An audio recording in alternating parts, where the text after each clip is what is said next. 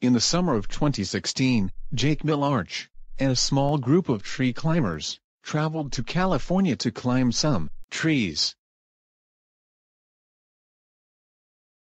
That doesn't sound very interesting. Until you find out that some of the trees are the tallest trees in the world. Some of them are 300 feet tall, 91 meters, which is about the same height as a 30-story building.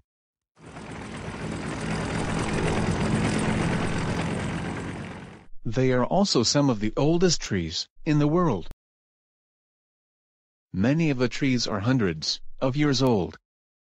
And some are even two or three thousand years old. Why are these people climbing the trees?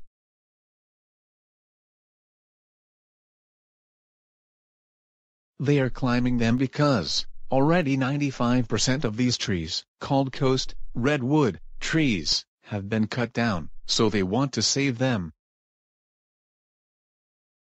After the climbers get near the top of the trees, they take small pieces from the youngest branches to plant new trees.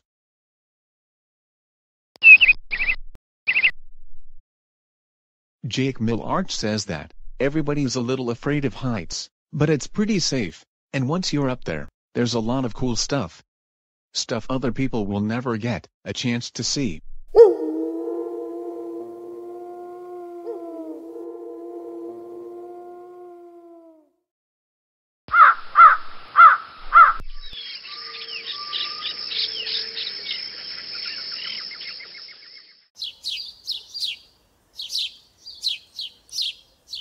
Their goal is to plant hundreds, perhaps thousands, of new trees.